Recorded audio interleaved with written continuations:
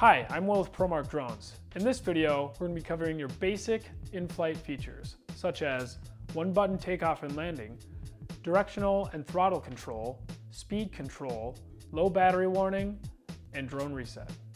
To begin your flight, you must start by pressing the one-button takeoff. This is the only way to start your flight. When you're flying, press the same button to land the drone. For throttle and directional control, use the left joystick up and down to control the throttle or your height. Left and right on the left joystick will control the direction of your drone. Press left to rotate the drone left and right to turn the drone right.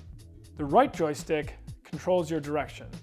Up and down will fly the drone forward or backward, left and right to fly the drone left or right. For speed control, toggle up or down on the remote. Up for a faster speed, which would be useful in high wind situations, or down if you're in a tight space. When flying, your drone will flash all four lights, signifying a low battery. It is always important to keep your drone in sight so you can see when the drone battery is low. Eventually, the drone will auto land before it runs completely out. For extended flying time, extra batteries can be purchased separately. Finally, in order to reset your drone, press and hold the button on the bottom right of your controller.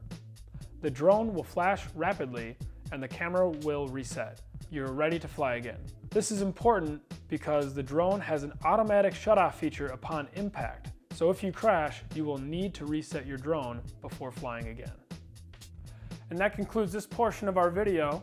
Uh, for more how-tos, tips, and tricks, check out our ProMark VR YouTube channel. Otherwise, I'm Will with ProMark Drones. Thanks for watching.